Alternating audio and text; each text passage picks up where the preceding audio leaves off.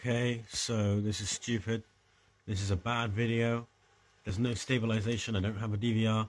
But I just find a train that is hella long and has all carriages. I'm trying to control with one hand here, so excuse me if I go falling off.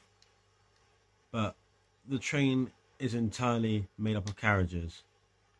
No, none of those like bits. You know, all just flatbed, flatbeds. Flat, no, yeah, flatbeds. Just look how long this thing is, man. Let me climb. I apologise for the oh Jesus for the bad quality of this video. I apologise for the fact I'm recording with my phone, but you know I don't have the proper equipment to do this because there's literally no point. I'm the least entertaining player of all time. But boom, as you can see, the entire train is just carriages, just just just flatbed carriages.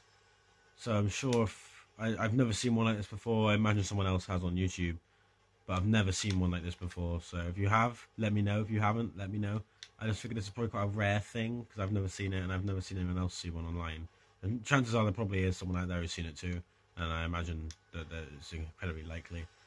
Because there's never any true first because you don't know. Oh, you don't know what happens, but you know this is the first time I've ever seen it, and it's something that I've never seen before or ever heard of before. Oh, whoops. Get on. Trying to control with one hand here. I'm going to lose it, aren't I? Yeah.